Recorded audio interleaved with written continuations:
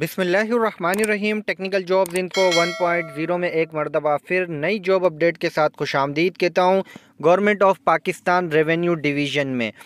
Latest भर्तियाँ announce कर दी गई हैं। एफबीआर में इसका इश्तहार आपकी स्क्रीन पर है। भाई, मैं इसके अंदर आपको स्टेप बाय स्टेप मुकम्मल तफसीत बताऊँगा और एंड में आपको इसका अप्लाई करने का तरीकाकार भी समझा दूँगा।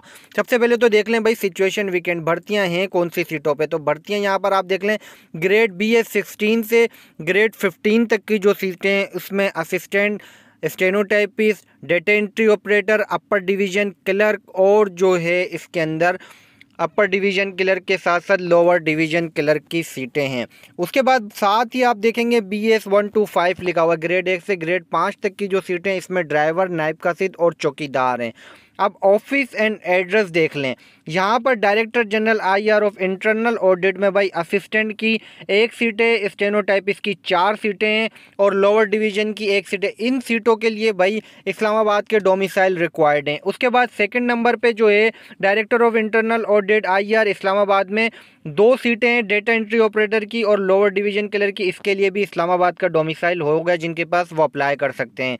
उसके बाद additional director, internal audit, Punjab का जिनके बाद डोमिसाइल होगा, वो जो है लोअर डिवीज़न क्लर्क की सीट के लिए अप्लाई कर सकेंगे।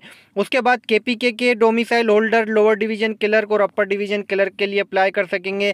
के पी के के दोबारा जो है, एक और ऑफ़िस है एफ़ बी आर का, वहाँ पर लोअर डिवीज़न क्लर्क की एक सीट खाली है। Director of internal audit Punjab में भाई लोअर डिवीज़न क्लर्क की फिर जो है चार सीटें हैं और जो है एक सीट है।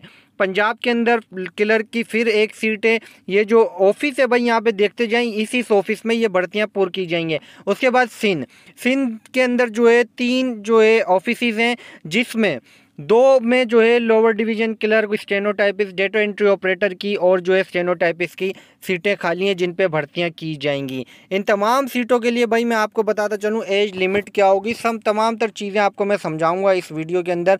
तो आप यहाँ पे देखें भाई एज लिमिट कितनी होनी चाहिए होगी? तो भाई एज लिमिट कम से कम जो है तैंतीस साल, जिनकी एज है कम से कम पच्चीस साल, ज़्यादा से ज़्यादा तैंतीस साल की उम्र के अफराद अप्लाई कर सकते हैं।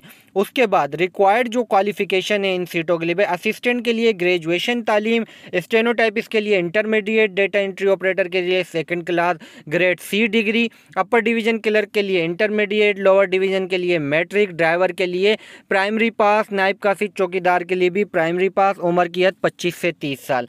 अब इम्पोर्टेंट इंस्ट्रक्शन देख लें भाई, इसमें अप्लाई आप लोग किस तरह से करेंगे? अप्लाई करने का क्या तरीक़ाकार होगा? तो भाई, आपने सिंपल जाना है N J P dot G O V dot P K इस इस वेबसाइट के थ्रू काफ़ी सारे प्रोजेक्ट गवर्नमेंट इस वक्त कर रही है तो आप लोग इस वेब, इस वेबसाइट पे जाएँगे, ऑनलाइन एप्लीकेशन फॉर्म फिल करेंगे और जो है अप्लाई कर देंगे। 10 अक्टूबर 2 अक्टूबर 2022 से पहले पहले बेहतरीन अपॉर्चुनिटी है भाई, अप्लाई करें, अपॉर्चुनिटी से फ़ायदा उठाएँ। चैनल पर नज़र रखें, मज़ीद न्यूज़ अपडेट के साथ दोबारा आऊँगा, जब तक के लिए आप सबसे इजाज़त चाहूँगा, अल्लाह हाफिज़।